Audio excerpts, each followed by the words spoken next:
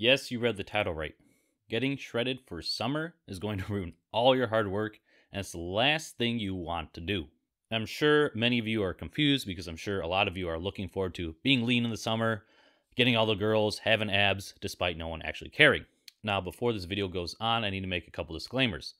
When I talk about shredded, I'm talking about typical fitness influencer shredded, very defined, six or eight pack, under 10% body fat, where your face starts to look like Jack Skellington. Second, if you are very overweight or obese, this video is not for you. You need to lose weight for your health so you can continue on that path. But if you ever wanted to consider being shredded, stick around for this video. And then third, if you're someone who has put on substantial amounts of muscle mass and has been exercising for like five to 10 years with consistency, plus if you have like 20 or 30 pounds you put on or so, this video might not apply to you either. I'm talking to you, the youngin who started their fitness journey and they're still able to make strength gains weekly or bi-weekly. You finally put on a little bit of muscle, so now you feel like it's time to show it off. And this is one of the absolute worst ideas you can do this summer, sending you back to almost square one.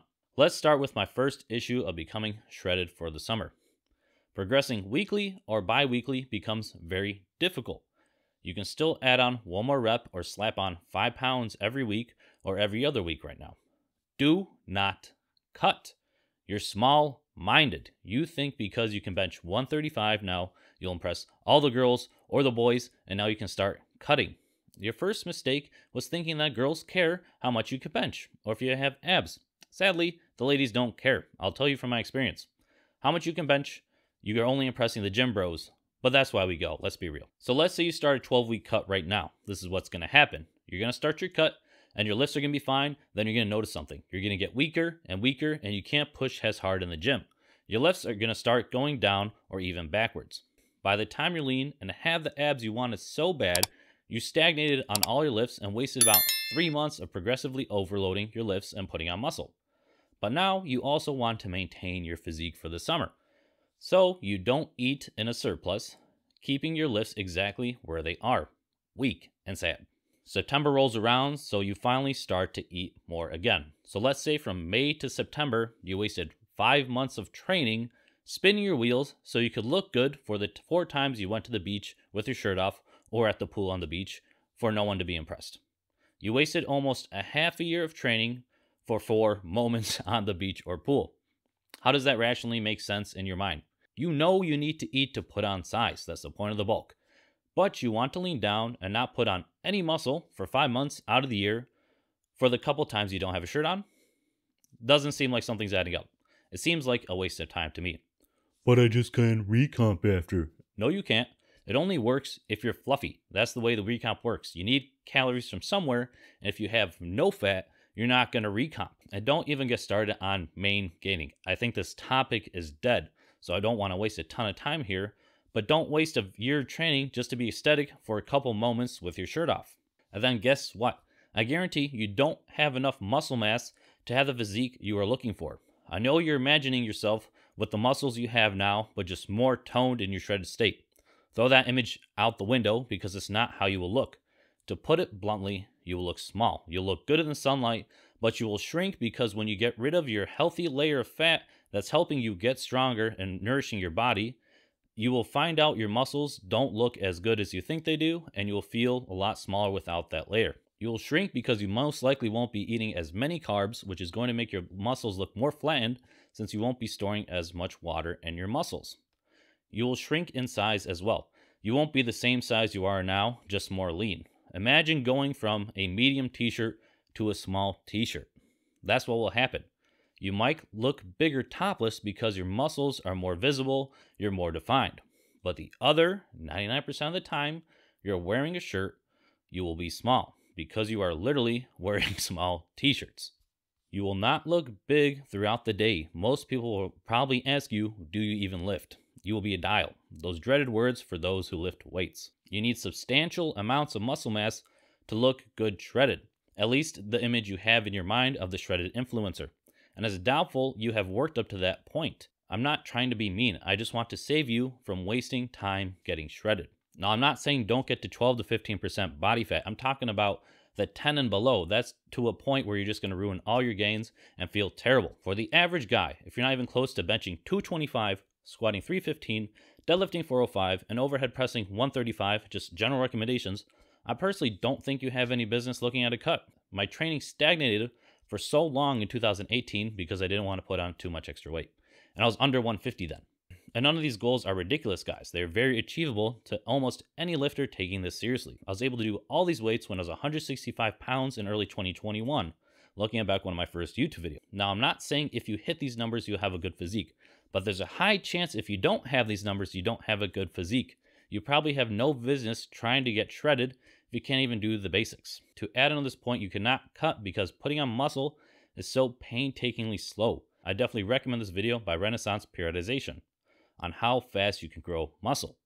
Your first one to three years of intelligently training are going to be your fastest gains.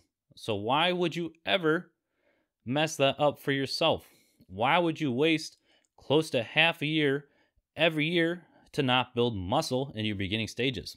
What you would accomplish in your first year or two years of training will now take you three to four years because you're wasting time being in a lean state when you first start out. And this especially doesn't make sense if you don't compete and if you don't post on social media. Even if you do post on social media, it's silly. We need more people posting their actual physiques and not highly curated photos because we're messing up the minds of our youth.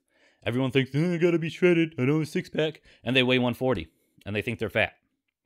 Tangent aside, take the long term approach. Building muscle takes time and consistency and dedication. You're not going to lose weight and build muscle unless you're severely overweight or a little fluffy.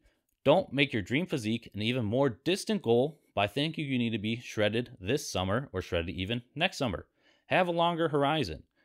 If you didn't meet my strength standards, you do not have enough muscle to look good shredded. That's just my opinion. Yell at me in the comments. I don't care. Besides looking small, getting shredded isn't healthy for anyone. Girls don't care if you're super lean. And even if you did get a girl because you're shredded, your penis isn't going to work because your hormones are all messed up.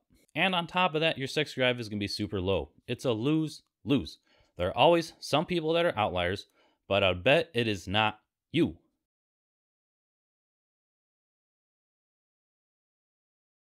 Type in on YouTube the truth about being shredded, and most people have a really bad time being shredded because your body is literally starving.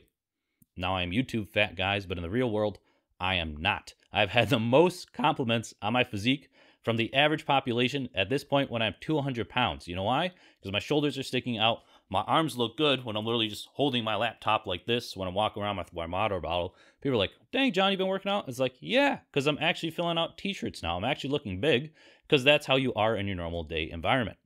You usually have clothes on. You're not topless. No one's topless at work. To the average Joe with my fluffy pack, normal, everyday people think I have the physique of a god, even though I have barely any ab definition right now, under good lighting, and I'm hovering around 18% body fat. Most people don't consume tons of fitness content. Most people can't tell you the difference between a barbell and a dumbbell. So when they see someone that is in shape and that has some muscles, they are impressed. Most of us live in super obese societies and then worried about being super lean. It's silly. Don't think because all your favorite influences are shredded, you have to be. Watch more realistic, natty channels like mine, like Geoffrey Verity Schofield, Revival Fitness, Alpha Destiny, Jeff Nippard, Natural Hypertrophy. I would say our physiques are achievable for most people given the time and dedication, but you're not going to get the results you want by wasting about half a year every year cutting when you shouldn't be cutting. Save that for five, ten years down the line. Trust the process, put on some muscle, at the bare minimum, hit the strength requirements I outlined in this video. Not saying, not saying you should go full powerlifting mode, but you should be able to do these for some reps. Then, if you really want to consider getting super lean or shredded, try it out and see how you feel. And I guarantee you'll feel terrible because I did it once. But don't keep spinning your wheels every year if you're not at the point of having enough muscle to even fill out a solid lean physique. And when I say lean, I mean 12 to 15% body fat. Since bulking is probably the thing you should actually be doing unless you're super obese or overweight, check out this video here and I look forward to talking to everyone in the comments. Peace.